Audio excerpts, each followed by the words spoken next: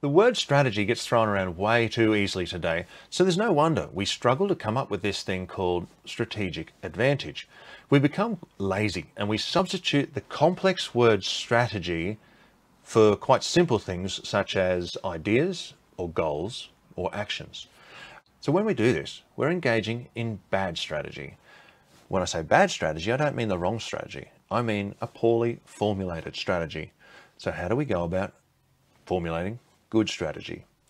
Well, Richard Rumelt has dissected common errors that we, uh, that most of us engage in today when it comes to strategy in his brilliant book, Good Strategy, Bad Strategy, The Difference and Why It Matters. And uh, this is easily one of the best books that I've read. Being ambitious is not strategy and having audacious goals is not strategic. Strong leadership is not strategic and nor is never quitting. So, what is strategy?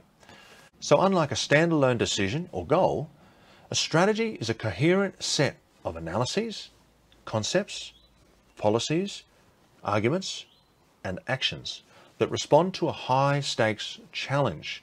And that challenge is something that needs to be identified.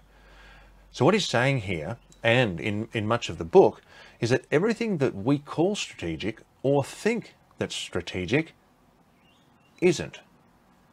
It's much more complicated than that. It's more, it's strategy is bigger, it's smarter and more integrated than ideas, goals and plans. Um, and this is why I love the book. To read briefly from the book, ambition is drive and zeal to excel. Determination is commitment and grit.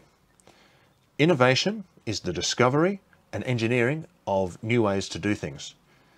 Inspirational leadership motivates people to sacrifice for their own and the common good. And here's the part. So strategy, responsive to innovation and ambition, selects the path identifying how, when and where leadership and determination are to be applied. It almost becomes mathematical. So Richard states that a good strategy consists of a kernel, and a kernel is made up of three parts. That is, the diagnosis, the guiding policy, and a coherent set of actions.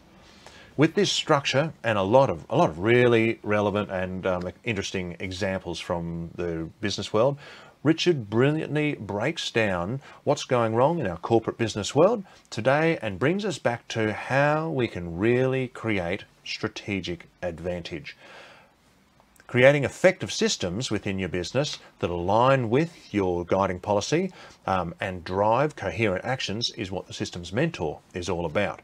If you feel you'd like to talk more about how you can use systems and the systems within your business to go about creating a real strategic advantage within your business, um, please feel free to contact me directly.